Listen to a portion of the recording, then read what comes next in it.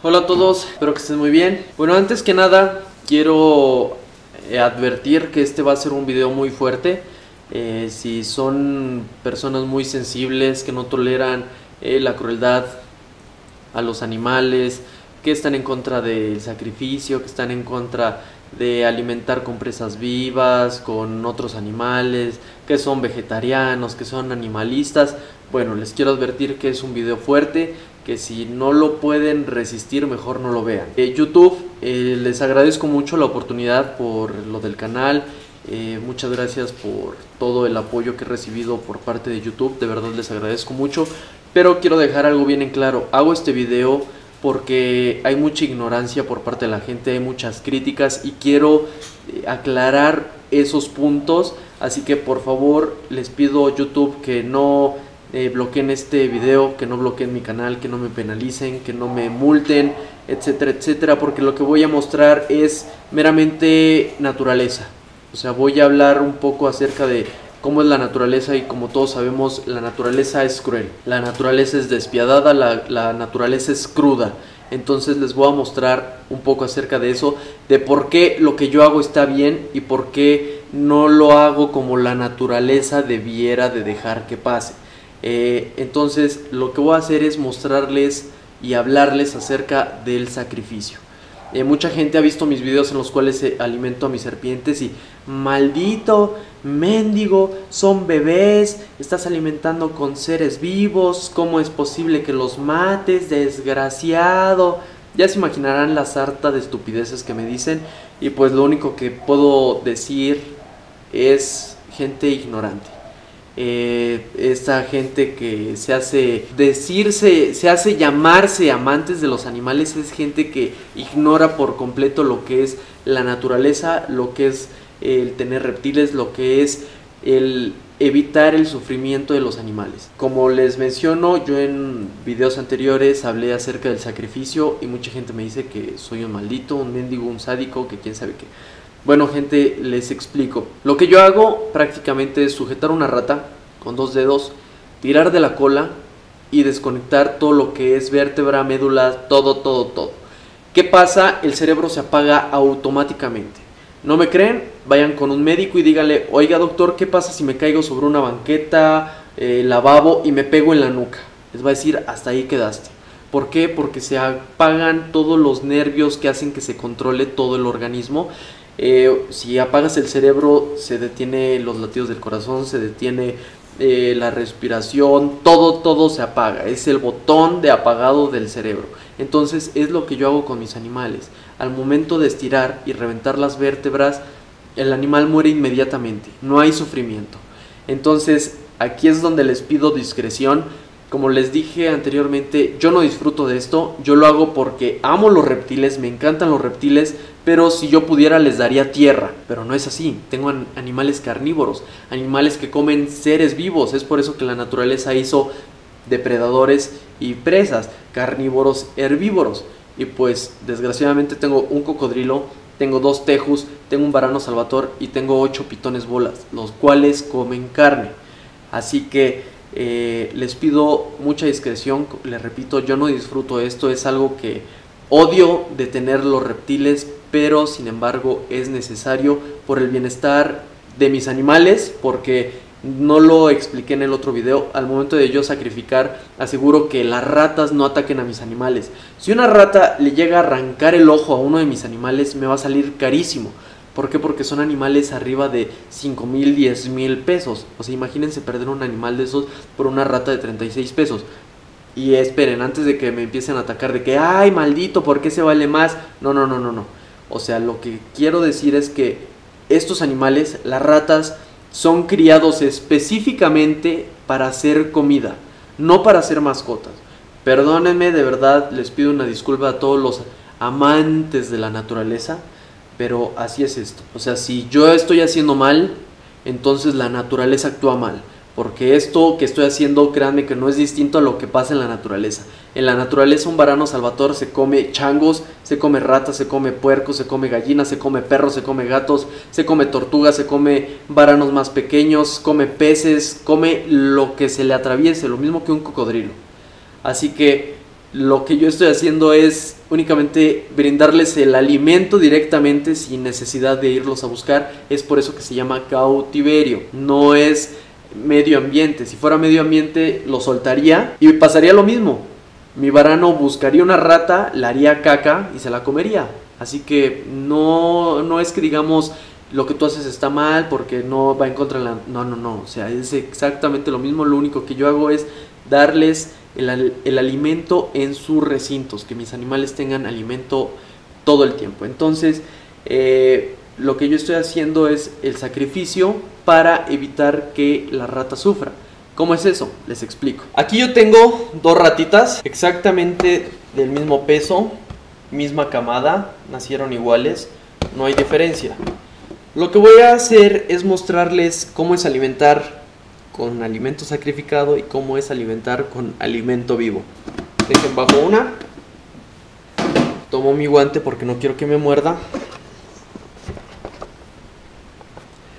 Y pues bueno, les repito, esto es algo que no lo hago con morbo, lo hago simplemente para que la gente entienda el por qué se hace esto. Eh, no es algo que disfrute y pues perdónenme todos, ratita, perdóname, como siempre yo a todos las ratas es difícil porque uno se acostumbra a ellos, los conoce desde que son una cosita así, les agarra cariño y pues gracias a ellas viven mis animales, así que lo que siempre hago es gracias y perdóname, es lo que yo hago con ellas. Así que lo que yo hago es tomar de la cola, perdóneme a la mejor chilla y lo que hago es estirar.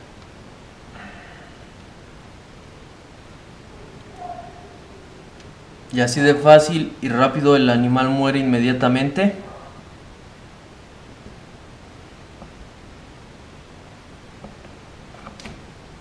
No sé si ahí alcancen a ver. Pero así de fácil y rápido muere nuestra ratita. Les repito, no es algo muy bonito, no es algo que yo me encante hacer, pero pues es necesario. Y pues ahora les muestro la diferencia de alimentar con sacrificado y alimentar con, con vivo. Pues bueno, como pudieron ver, nuestra rata murió rápido y ahora les muestro lo siguiente. Aquí tenemos dos pitones bolas eh, de la fase Spider. Este es un macho y este es una hembra. Vamos a alimentar a uno con una presa recién sacrificada y otro con una presa viva. Tomo mis pinzas. Aquí está nuestra rata recién sacrificada. Mostramos.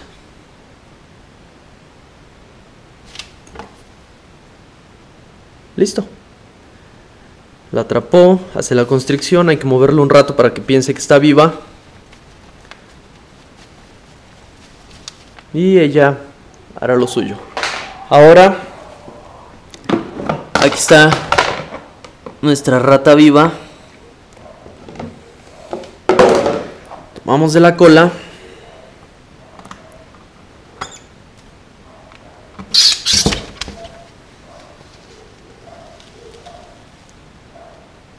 Como pueden ver, la serpiente aprieta. La rata lo que está sufriendo es asfixia. Y pues no la va a soltar hasta que el animal deje de respirar, dejen de latir sus, su corazón. Y pues como pueden ver la rata está agonizando, está sufriendo. Esa rata está muerta, se murió en 5 segundos. Esa rata va a tardar un minuto, dos minutos, sigue viva. Aún se mueve. Entonces, lo que quiero enseñarles es, el sacrificio dura 5 segundos. Es simplemente desconectar vértebras y la rata muere automáticamente. Esta rata viva está sufriendo, está agonizando y se va a morir hasta que deje de respirar. Díganle a alguien que les apriete la garganta y díganme qué se siente. Entonces, pues esto es lo que yo les quería mostrar. Es de lo que yo quería hablar. La rata Sigue viva, sigue moviendo su patita.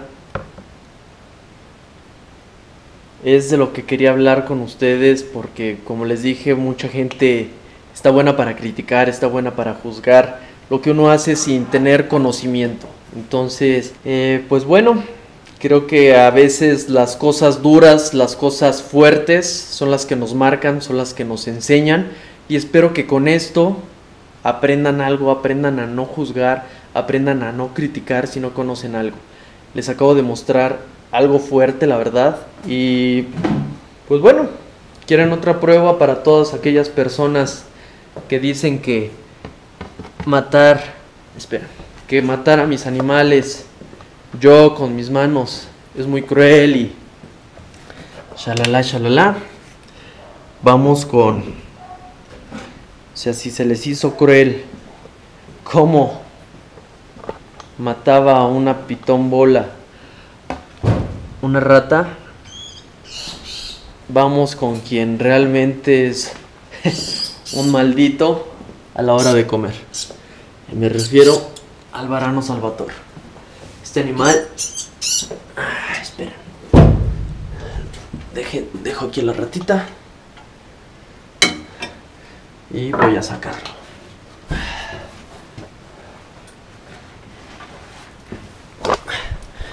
Entonces ahora sí, ¿Quieren ver lo que es crueldad?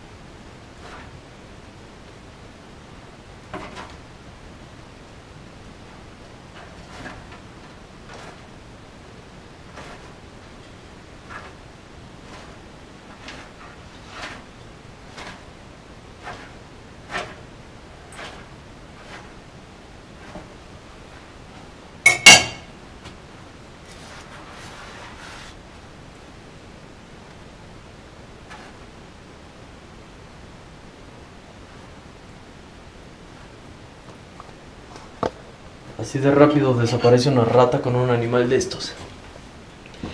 Entonces, le repito, audiencia, YouTube, lo que estoy haciendo no es crueldad. Lo que estoy haciendo es mostrar, mostrarles la naturaleza en su, ¿cómo se podría decir? En su forma natural. O sea, esto es lo natural, esto es la forma en la que comen estos animales. Lo que yo estoy haciendo es facilitarles eh, acabar con el sufrimiento de los roedores, pero estos animales así comen en su entorno natural. Miren, esas ya está comiendo. Aquí está, ya se perdió. Hay que volvérselo a ofrecer, ya está muerta la rata, pero... ya está muerta.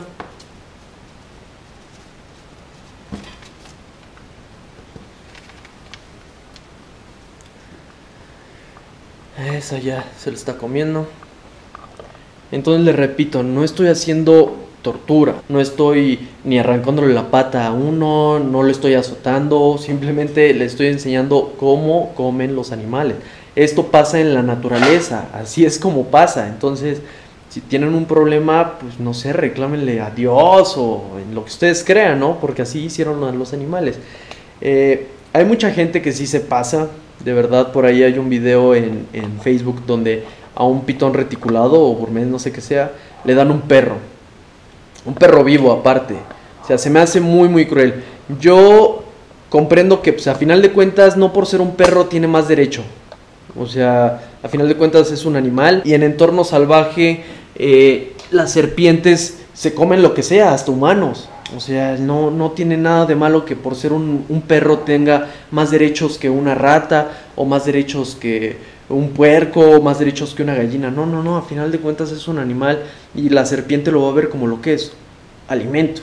Igual hay videos donde los cocodrilos se llevan a los perritos y no por eso el cocodrilo es un maldito, es un cruel, no, simplemente el, el perro se atravesó en su camino y el cocodrilo lo vio como alimento y se lo tragó, ni modo. O sea, hay que tener cuidado en eso.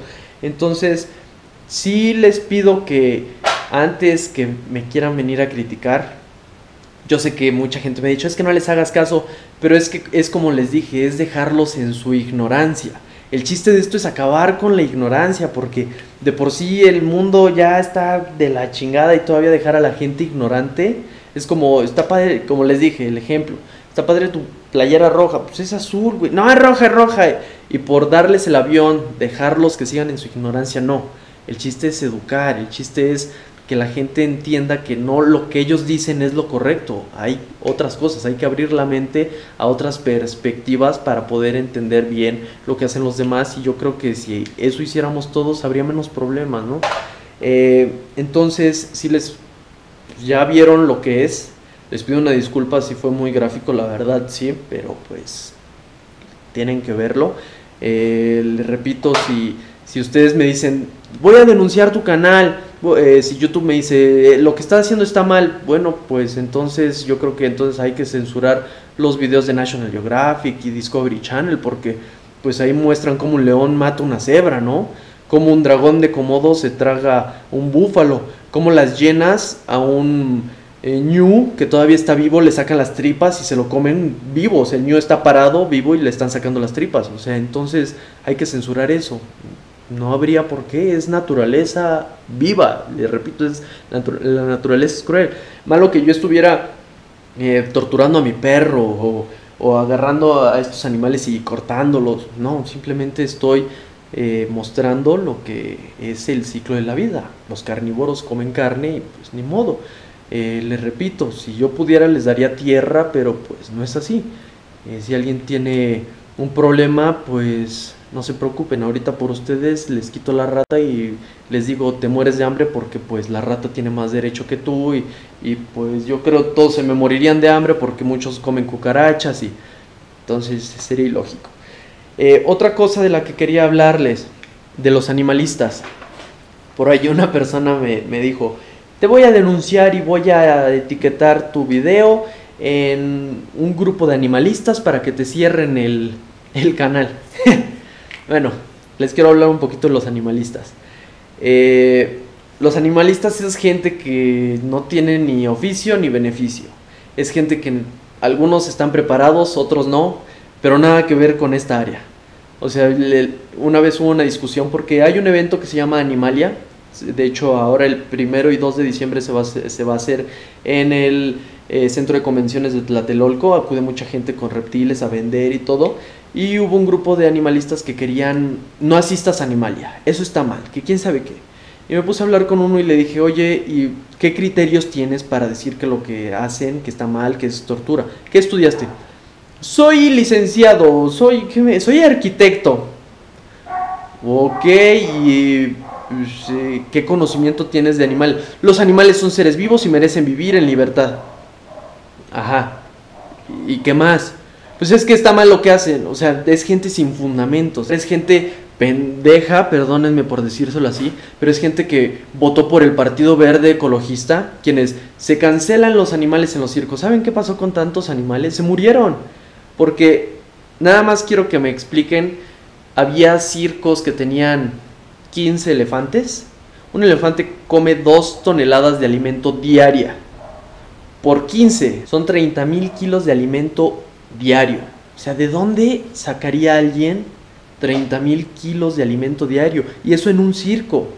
O sea, ¿cuántos circos no había con elefantes, con jirafas, con cebras, con caballos, con tigres, con leones? O sea, había muchos circos con muchísimos animales. Lo que pasó es que muchos se, murieron, muchos eh, circos dejaron abandonados a sus animales para que se murieran de hambre, porque pues, ¿quién se los recibe? Ni un zoológico se los recibe. Aparte, Muchos decían que los vamos a llevar que a zonas de conservación. ¿Saben en cuánto sale llevar 15 elefantes a África? El Partido Verde lo que quiere es ganar dinero. No perder, no va a pagar para que se lleven elefantes a África. O sea, hagan tantita conciencia. Ahorita lo que quieren los animalistas es prohibir esto, que las personas tengan animales exóticas, que se prohíba la exhibición de animales exóticos. O sea, ¿saben lo que pasaría? Tengo 25 geckos leopardo, ¿quién va a pagar para llevárselos a Medio Oriente? Tengo un varano salvator de Asia. ¿Quién va a pagar por llevarse los dos tejos que vienen de Argentina, Colombia? Iguanas, cocodrilos, dragones barbudos vienen de Australia. O sea, hagan tantita lógica. Y estos son los animales que yo tengo. Hay, animal, hay gente que tiene muchísimos más animales. O sea, es una idiotez. Así que no les hagan caso a esos animalistas. Yo lo que les puedo decir, no los voy a insultar, simplemente los invito a que asistan a Animalia, a que conozcan un poquito de lo que es, porque dicen que es crueldad animal, que lo que hacen es meter animales en recipientes pequeños y que se venden y que se están eh, explotando y, o sea, nada más quiero que entiendan algo, la mayoría de las personas que yo conozco que tienen animales, que van a Animalia a vender las crías de sus animales, tienen un empleo es gente que no vive de sus animales. Trabajan para mantener a sus animales, reproducen y esas crías las venden para sustentar los gastos de sus animales, tenerlos en perfectas condiciones, pagar instalaciones, pagar luz, pagar alimentación, pagar veterinario. Eh, así que no es explotación, simplemente es se mueve el dinero para mantener a nuestros animales. Es lo que yo también hago con los geckos leopardo vendí todas las crías y con eso eh, voy a hacer instalaciones, voy a mejorar aquí, voy de poco en poco porque no he tenido tiempo, ahorita eh, ya me voy a dedicar más de lleno al canal en YouTube, ya me voy a dedicar más de lleno a mis animales, así que van a ver mejoras próximamente. Este cuarto no es definitivo, entonces también no le quiero invertir porque hay planes a futuro. Así que si entiendan algo, el tener este tipo de animales no es crueldad, no es explotación, no es exhibición. O sea, hay gente que se preocupa más por sus animales que por ellos mismos, que se preocupan más por sus animales que por su pareja. Por ejemplo, André Rocha, ustedes lo conocen, tiene cocodrilos blancos. ¿Saben lo que haría si se le muere blanco? O sea, yo creo que se ahorca en el baño. Yo lo conozco perfectamente a Andrés Rocha y ama a sus cocodrilos y sé cómo los cuida. José Luis Ugalde, o sea, sus, reticuladas las adora y se le enferman y paga lo que sea para que se las curen yo lo conozco y es médico, así que no me digan que eh, esa gente explota sus animales para vivir. Está Charlie González con los varanos, o sea, tiene una muy buena lana invertida en varanos, pero él trabaja, me parece que no trabaja en un banco, no recuerdo bien, pero él trabaja, él tiene su empleo. ¿Y saben en cuánto le sale mantener tantos animales? Por eso tuvo que reproducir y esas crías las vendió y ahorita invirtió fuerte en instalaciones y en tener a sus animales. Miren, en perfectas condiciones. Mis respetos para esa gente que no ve los animales como una entrada a la bolsa, sino que ve sus animales como un dinero para tener en mejores condiciones a sus animales. Ese e, es el chiste de esto. Así que, por favor, a todos aquellos que quieren criticar, los invito a que asistan a Animalia, vean en qué consiste, porque igual hay muchos eh, distribuidoras, a lo mejor no criadores, distribuidoras, pero saben lo que es para ellos que se les muere un animal, es una pérdida. JD Reptiles el año pasado trajo unas tortuguitas que valían como 40 mil pesos. ¿Saben lo que sería si se le muere un animal de esos? ¿Ustedes creen que acaba Animalia y llega a su casa y dice, nah, pues mañana los, los acomodo, no, ya me voy a dormir? No, o sea, es perder un animal de 40 mil pesos. ¿Quién te regala 40 mil pesos? Ellos procuran a sus animales para tenerlos en perfectas condiciones porque es su dinero, su dinero invertido en animales.